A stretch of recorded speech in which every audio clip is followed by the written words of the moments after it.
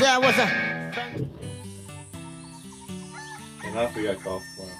Welcome back to the two minute warning cigar review, Cole's Notes version of what we did today on the Cigar Dungeon podcast. Today on the podcast, we smoked the My Father La Opulencia paired with the Larceny Bourbon, where we polished off the bottle.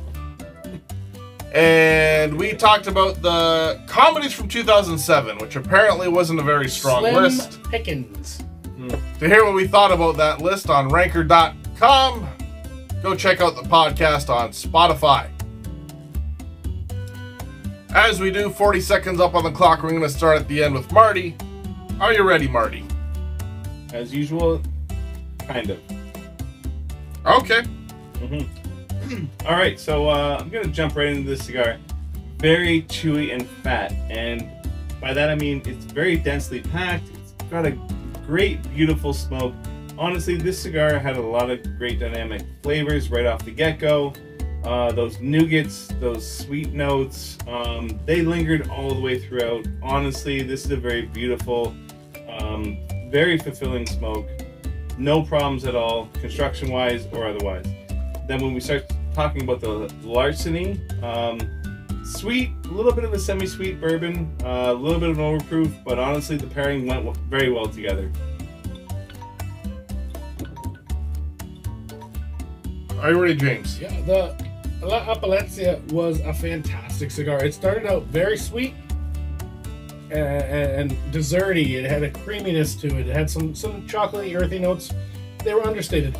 The description of this cigar from the maker is that they intended it to power up as it went along, and it lived up to that expectation. Uh, the sweeter notes, the nougaty notes, they drifted down as the as the power and the, the complexity of this cigar rose up, and it's a very complex cigar.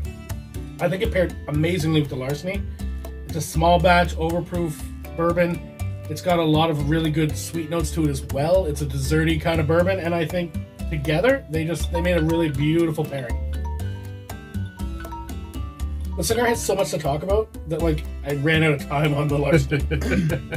As we usually do. Like if we run out of any any time, it's usually for the cigar.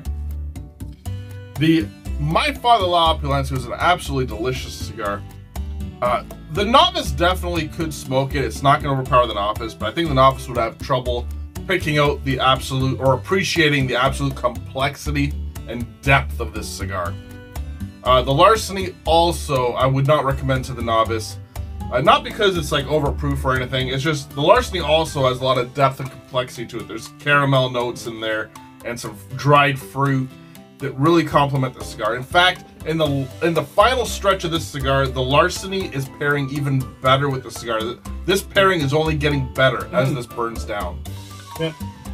Kevin, one of the very few times, I think you're right. On that note, smoke good cigars, drink good booze, eat good food.